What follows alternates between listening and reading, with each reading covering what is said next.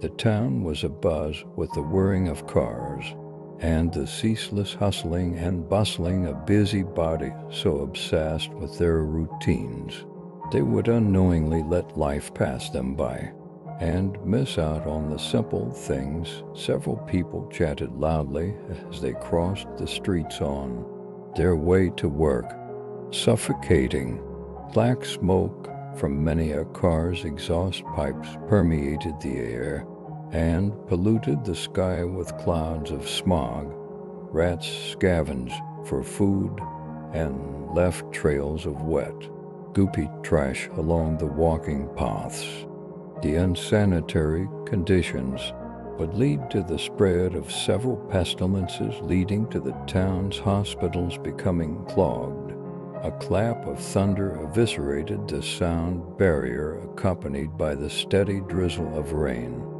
I watched the town fade from view as I rode the public bus, as any who was familiar with this form of transportation could attest to. The bus was congested to the brim, with several passengers, all with varying characteristics and hygiene.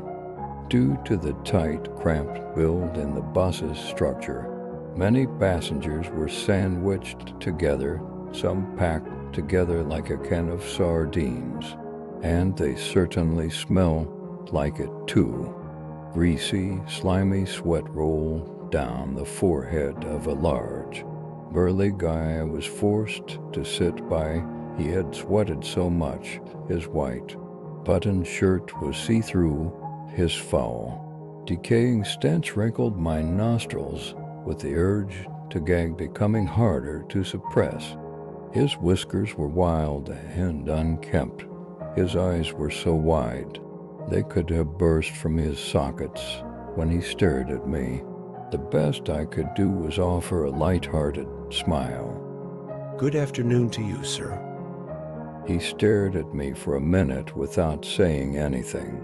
His discolored eyes peered in opposite directions, as if he was staring into infinity. After nothing of note happened between us, I tried to focus on my trip. I held the handle of my briefcase with some hesitation. The town soon became a dot in my eye before sinking into the inky abyss. This was it. It was really it. I turned my attention back to the rye. To think this was the last time I would be seeing this town. Sure, it had one school, a single grocery store, and police station.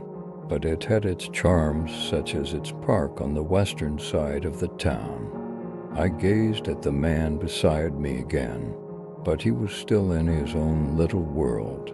I tapped the handle a few times as I watched the passengers start to settle down into their seats.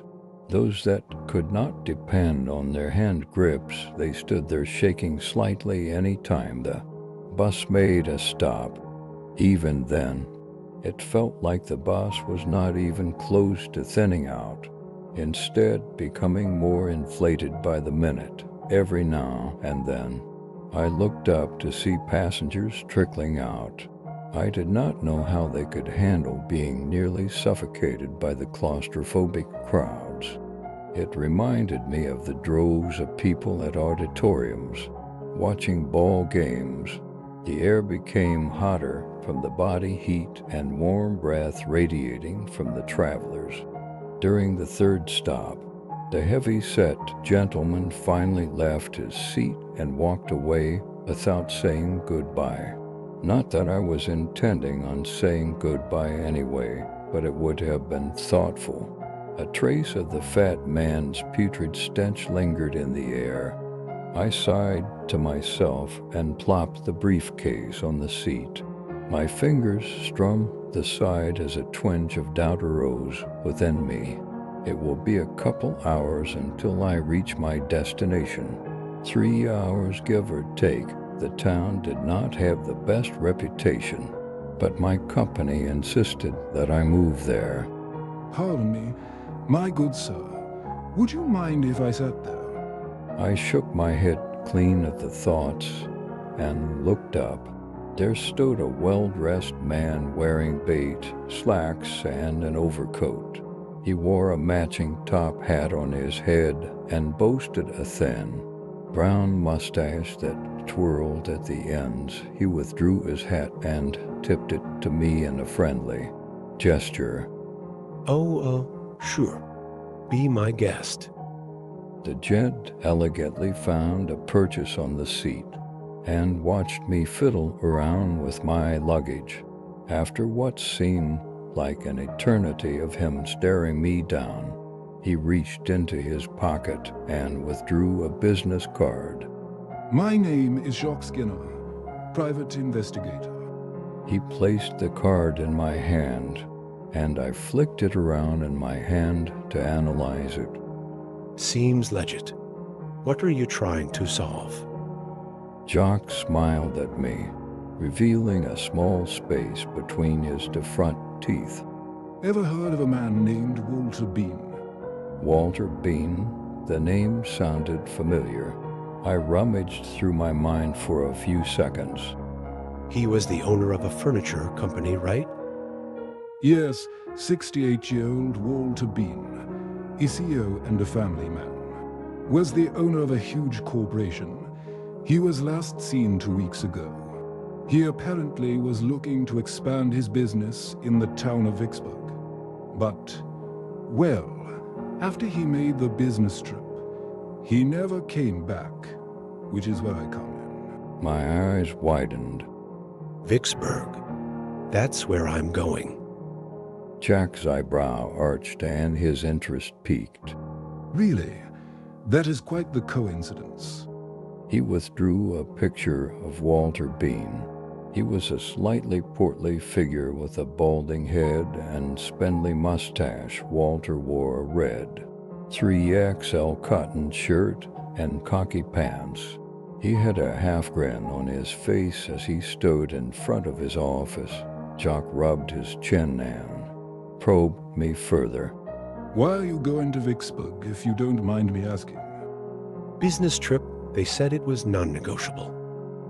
I'm certain you have heard of the story behind the town, and why it is held with such disdain. I shook my head. I know that the town is worn down and practically a ghost town, but I am not afraid of any ghost stories. He laughed. Okay then. Legend goes that during the 1770s, the town of Vicksburg was once a prosperous place with friendly faces everywhere. People openly shared with each other, and no one was left without. A real utopia, I guess, is the term. I quietly listened to the private investigator as he further lectured me on the town's folklore. That was until there was a certain woman who grew up with nothing. Before marrying into a noble family, she was beloved by her husband. But she had one fear that is universal to everyone regardless of their status the fear of death. So, she conducted research into the dark practices meeting an occultist who indoctrinated her into the worship of the gods of old. She summoned a demon from the bowels of the earth. To grant her the gift of eternal beauty and life, the demon fulfilled that wish. But it required sacrifices from the living. Sacrifices? Like gods of old. Are you telling the story, my good man? Jacques asked me, somewhat annoyed but still smiling. Sorry. Just got entrenched in the story. Please go on. One by one, the woman led her family into the mouth of hell, starting with the servants, and then her loving husband and their four kids from there. More and more of the townspeople disappeared in thin air and in their place. Well, let's just say the demons are the residents now. Or that's what I have heard.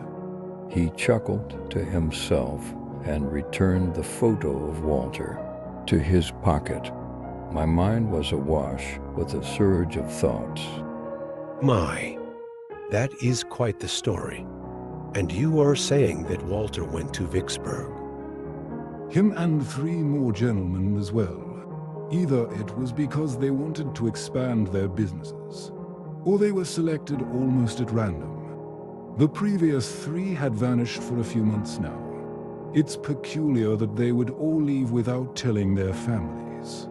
That they should not expect them back any time soon. We talked a bit more about the missing cases, much like Walter.